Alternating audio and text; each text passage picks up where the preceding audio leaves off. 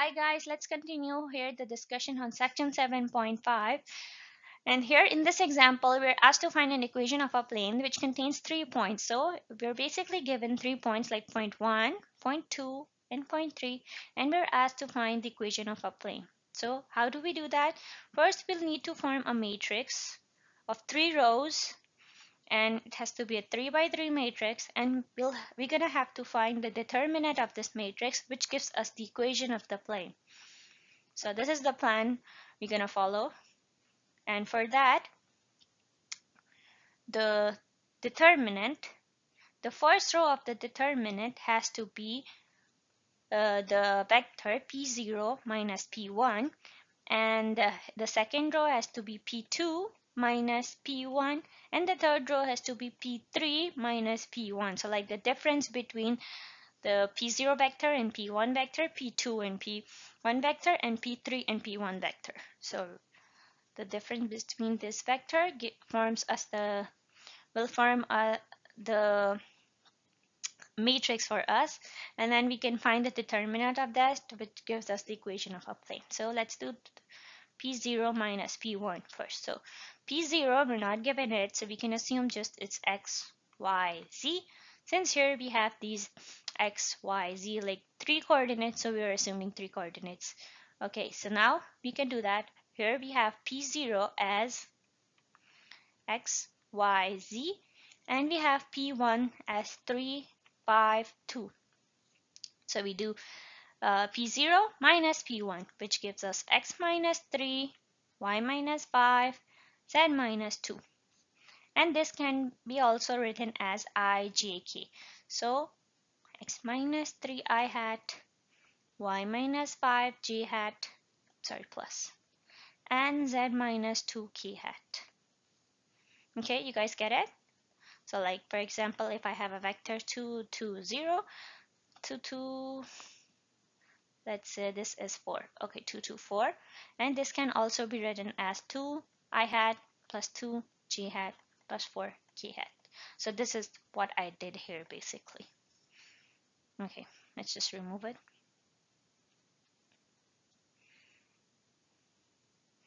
Okay, now we are doing P2 minus P1. Okay, this goes, this thing goes in the first row. So like here. Okay, now let's do the second row. And for that, we do P2 minus P1.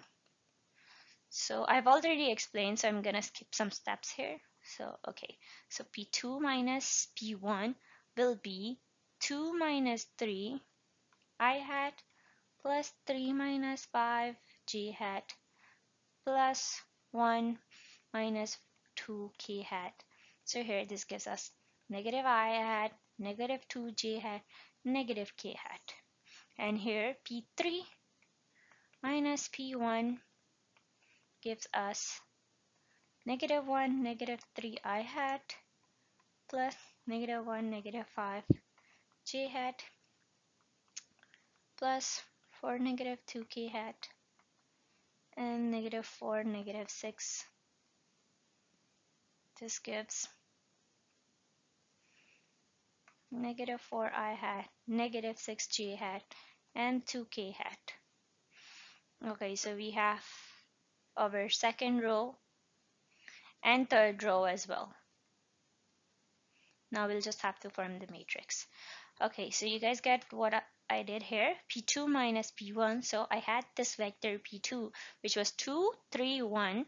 And what I did, I did like 2, 3, 1, and then minus the vector P1 which was 3, 5 and 2 and this is how I got this 2 minus 3 and here 2 minus 3 and then and then 3 minus 5 and 1 minus 2 and then I did the same thing with P3 minus P2 okay so here I had P3 negative 1 negative 1 4 and then I did minus uh, the vector 1 so 3 5 2 so here I did negative 1 minus negative 3 so negative 1 minus negative 3 and then negative 1 minus 5 4 minus 2 4 minus 2 and which gives us these vectors. Now let's do the matrix. All right let's set up the rows and columns of the matrix. So in the first one this goes in the first row this in the second row and this in the third row like I explained here. Okay now let me write it. So here in the first row x minus 3 and here I sorry I forgot to put the parentheses just so you don't do, you guys don't confuse okay now in the first one I have x minus 3 i hat and so this is the first one. The first component the second one is y minus 5 and the third one is uh, z minus 2 um okay. Z minus 2 and here and in the second row we have negative 1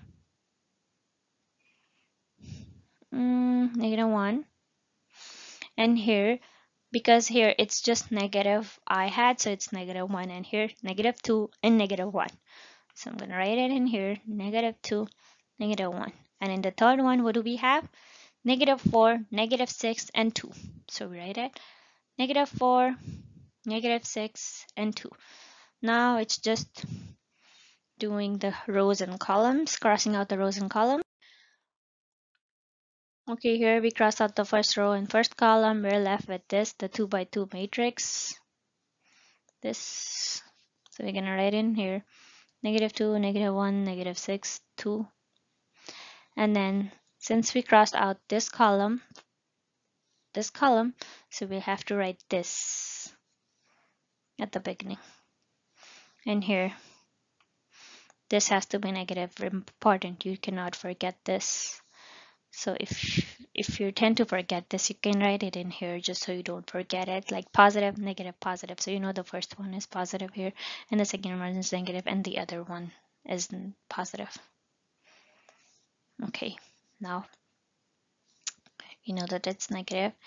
And what comes here, since we're crossing here, the second column, so we have to put here y minus 5 and it's multiplying the negative is multiplying y minus 5 so y minus 5 times the negative this gives us positive y sorry negative y and positive 5 so we write it in here negative y positive 5 crossing out the second column and uh, the first row we're left with negative 1 negative 1 negative 4 and 2 okay now we write a plus here because we see a plus here Okay, so plus, and then we cross the second, the third column and the first row. And since we cross the third column, we have to write this in front. So z minus 2 goes in front and then, okay, sorry, let me use another color.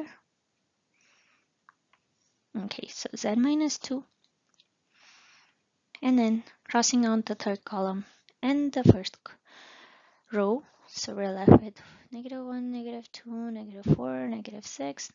Now solving for the 2 by 2 matrix. So here, how do we do that? x minus 3 in the front, and then we multiply these two. So negative 4. And when we go in the other direction, like this, first we have to put a negative here. So we put a negative here, and then we go into the other direction. So first, put negative, then go in the other direction.